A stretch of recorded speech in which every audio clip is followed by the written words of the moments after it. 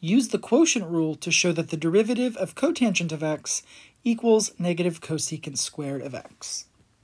So if we want to use the quotient rule to figure out the derivative of cotangent of x, we need to express it as a quotient. And we know that tangent is sine over cosine, cotangent is cosine over sine. So we've got cosine of x over sine of x, and then we can use the quotient rule here. We know that the quotient rule tells us low d high minus high d low. So the low function is sine of x times d high. The derivative of cosine is negative sine. So that's our low d high minus high d low.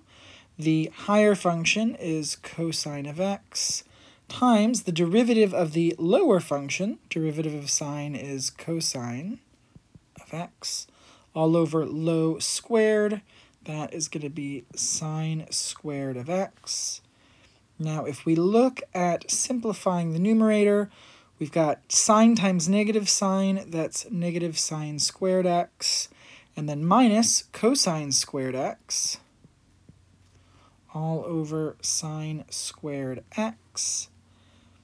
Now, sine squared plus cosine squared is 1, but because this is the opposite of that, we're going to end up having negative 1 over sine squared x. And we know that the inverse of sine is cosecant, so we pull that negative out front, and because it's the inverse of sine squared, it's going to be cosecant squared of x with that negative out front. And we have shown that the derivative of cotangent of x is negative cosecant squared of x.